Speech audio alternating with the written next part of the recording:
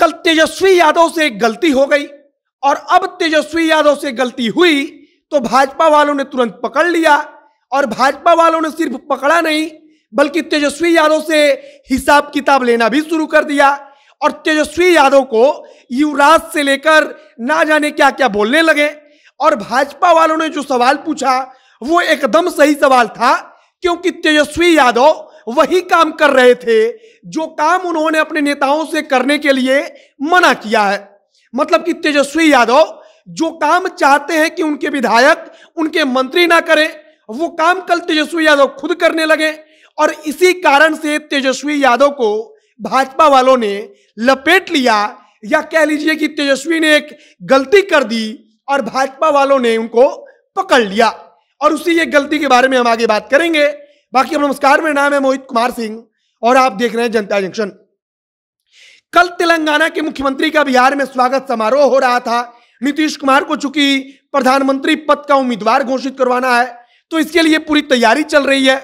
और इसी बीच राबड़ी आवास पर जो तेलंगाना के मुख्यमंत्री हैं, केसीआर, वो पहुँचते हैं। जब राबड़ी आवास पर वो पहुँचते हैं, तब वहाँ पर लालू प्रसाद यादव होते हैं, राबड़ी देवी होती हैं और केसीआर का दोनों लोग स्वागत करते हैं।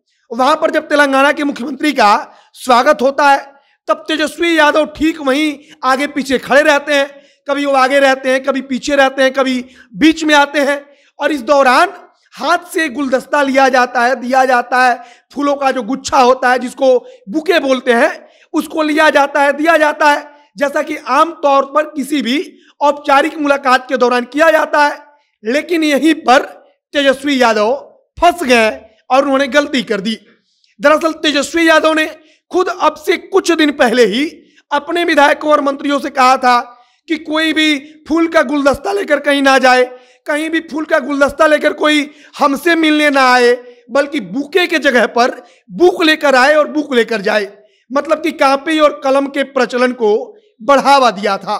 और भाजपा वालों ने कल तेजस्वी यादव की इस गलती को पकड़ लिया। और तब भाजपा वालों ने लिखा कि इनके पास ना कोई नीति, सिद्धांत, कुछ नहीं है।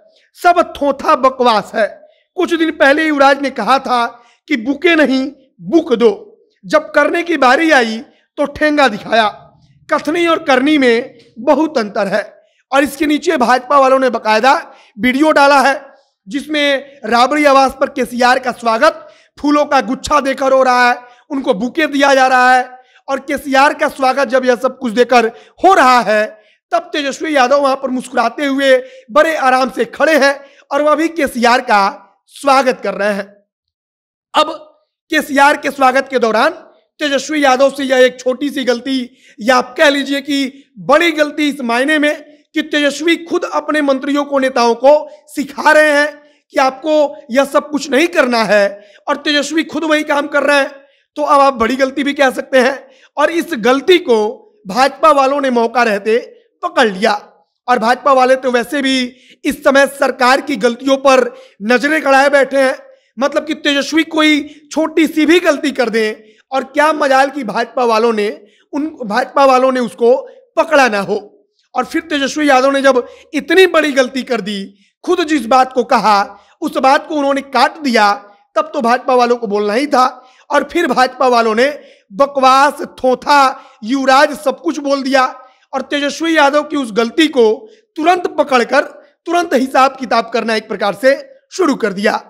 तो अब तेजस्वी यादव ने अपने विधायक और मंत्रियों को जब मना किया था कि आप लोगों को फूलों वाला गुलदस्ता नहीं लेना है, नहीं देना है, इस प्रकार के प्रचलन को खत्म करना है, लेकिन वे खुद यही कर रहे हैं तो इस पर आपका क्या सोचना है आपका क्या विचार है, उसे कमेंट बॉक्स में लिखकर बताइएगा।